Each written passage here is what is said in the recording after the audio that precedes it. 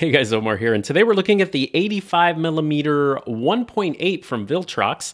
And Viltrox is really kicking butt. You know that we recently reviewed the 23mm 1.4 for Fujifilm, and that lens performed well enough to get. Now that lens I purchased myself and I'm keeping, so uh, this one was sent to me by Viltrox uh, to test out. They asked me if I wanted to test it for the Sony system. I said, sure, why not? I actually own the 85mm 1.8 for Sony, and so for fun, I wanted to see how the two compare, and I figured it would help some of you out there decide which is right for you. Now, compared to the Sony, they're very equal in size. Now, unlike the Fujifilm Viltrox we reviewed, this one has a plastic, oh, asthma, now the lens is actually really pretty. I actually prefer lenses with a large focus ring, and this one delivers. It takes up pretty much the whole lens there.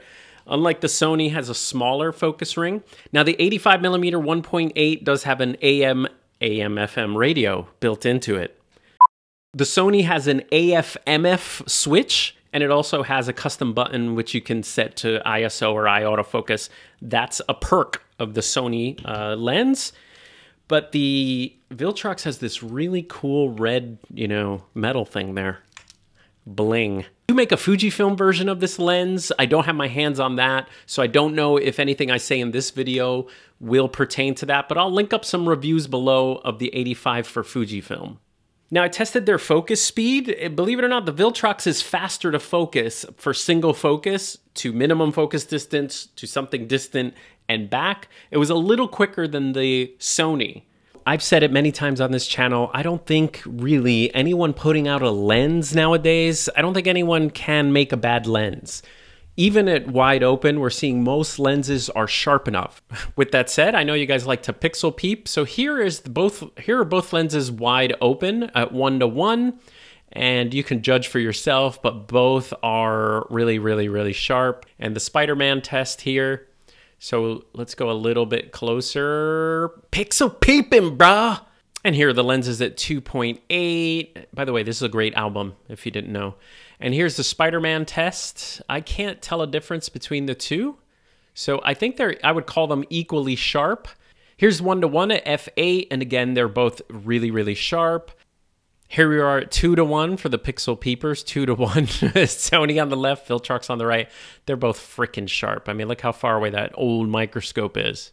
And one thing to be aware of is the Sony does go up to f22, the Viltrox does not. So you have actually one extra stop of you know closing down the aperture. Minimum focus distance is pretty pretty much comparable on both. Uh, from this side by side shot, here's the Viltrox on the left, Sony on the right. Uh, if I'm looking at them, they look very identical. And by the way, if you're liking my colors here, we did a video on Sony colors. I can't stand Sony colors straight out of camera.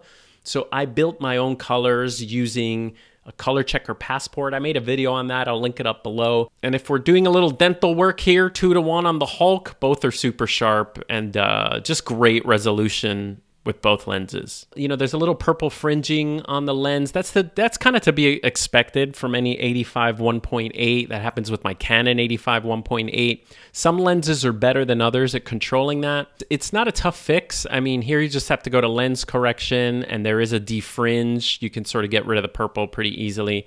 So I asked my little girl to walk into the office and the Viltrox, this is on continuous autofocus with a zone and eye autofocus. And the Viltrox seemed to be doing a good job uh, in grabbing her face. She's completely focused so far. So down the whole hallway, she was in focus. However, as soon as she started to get out of focus, I found that the lens, once the lens lost focus, it didn't reacquire focus as well as the Sony.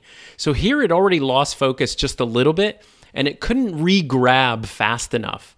So we're on a high burst here and it was it was already too late. The Viltrox couldn't reacquire focus. I felt that was the main issue with the lens is that it couldn't get it couldn't find its way back. So here I said, you know what? Let's just try one a little closer. We'll give the Viltrox the benefit of the doubt. Let's start a little easier here. She started from the wall and right away, again, it wavered. And if it wavered, it couldn't reacquire focus. I tried with the Sony. I said, all right, maybe it's just this room and this lighting. So here the Sony did a much better job with her moving. It basically, by the way, I should have had my shutter speed. I apologize. I should have had my shutter, shutter speed a little faster to grab crisp images. She, there is a little bit of motion blur, but it's still acquiring focus pretty much the whole way that she's coming forward.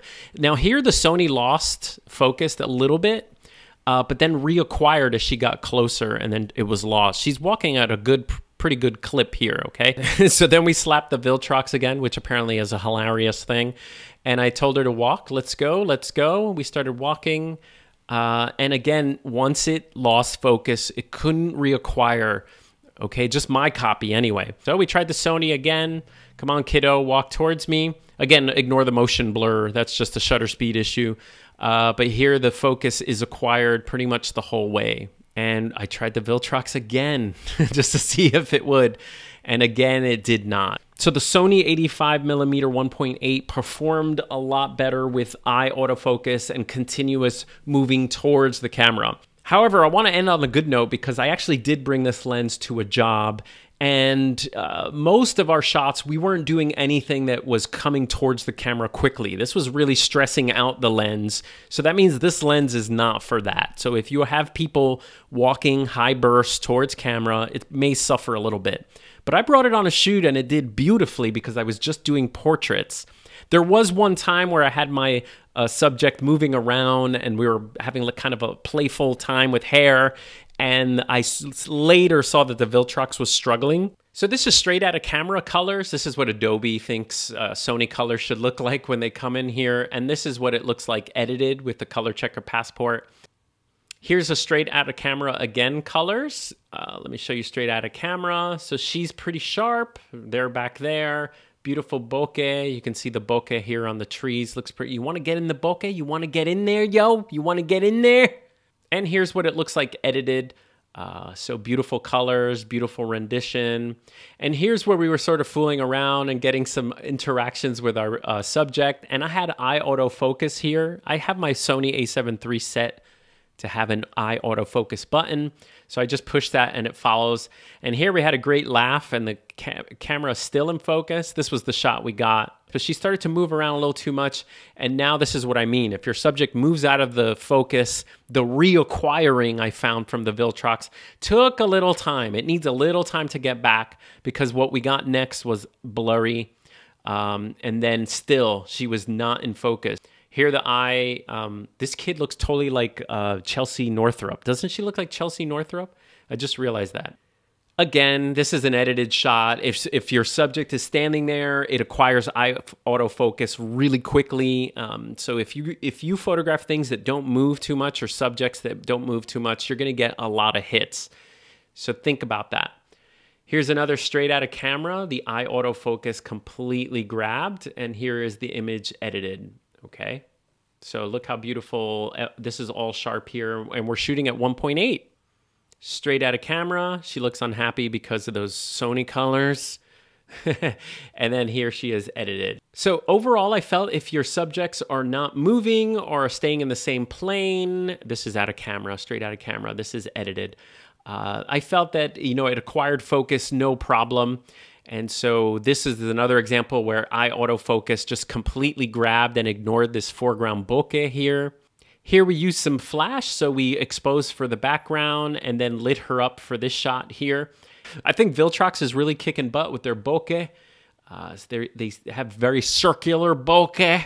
And here's another shot from the Viltrox. Beautiful bokeh, soft, creamy really great. So the, as you can see, you can get beautiful portraits. I would just say that if you have your subjects moving too much, you may want to go with the Sony, but if you want to save some money and go with the Viltrox, it's good enough if your subjects aren't moving really quickly, if you're not doing that kind of work.